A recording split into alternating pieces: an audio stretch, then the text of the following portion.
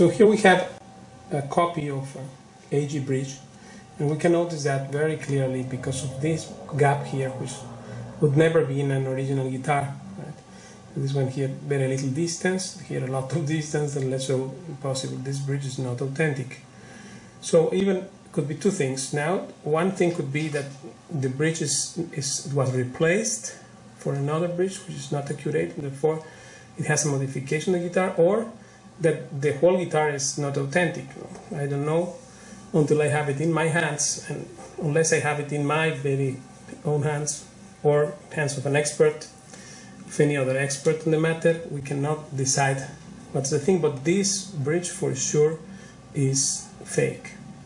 Now, uh, if you see how does it look a real AG bridge, you notice how much precision does it have. It has six holes perfectly balanced distance from one to another. The description of this link, the first link I will post is about this Emperor Snake video on which I explained with 20 or 30 guitars this in detail. Well, now then you have a bridge which is not authentic bridge and this is what happens when people risk buying online things which are also second hand, which by the way, in the AG warranty, it specifies very clearly that the warranties is there, but provided you acquire the guitar from an authorized AG dealer, and if you are the first owner. Why? Because the guitar may go there from eBay to this site, to Kijiji site, to different sites, and then pass through many hands. And obviously, the company cannot assume liability because someone mistreated the guitar, didn't put the humidifier for two years, and then sells it in three dollars, apparently trying to make a good deal out of it, right? Sometimes it's very subtle the damage that the guitar may have, and therefore the warranty is, is not there, and for a good reason. So this copying thing, I'm not against copying because this is the only way to learn, right? For example, in the Museo del Prado, here we can see that different artists are copying uh, pieces of art from the previous masters. Like this guy here is painting this Greco thing, this is another.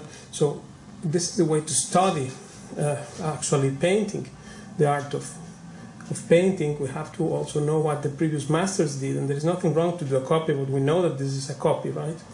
So same thing, this nice pictures here. You see, this guy is, learning how to how to paint in this style, so he has to. They ask permission to the museum and then make a copy, right, of the of the work. There is nothing wrong with it, right? But provided we know this is a copy, right? It looks like the original, but it's not. So to to know what's what, we need an expert, and that's that's why it's very risky to get just guitars or art uh, just from, from a second-hand dealer, let's see, let's say. And that's why the companies cannot afford to have warranties so wide that cover this thing. For example, this guy here. He has a, a guitar which looks like AG but obviously, well, I think a friend sent me this this picture and probably these, these guys are the ones who, who make the, the guitar because you see here instruments. They make this copy of AG right? But the thing is that obviously this guitar is not an AG guitar right? But it looks like. It looks like more or less. You see this model here is like the 1945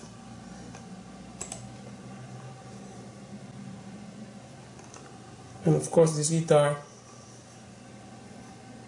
well which is like this model here more or less. Right they copied from here right most probably. Right in fact. So this thing here is risky because if now someone sells sells such guitar online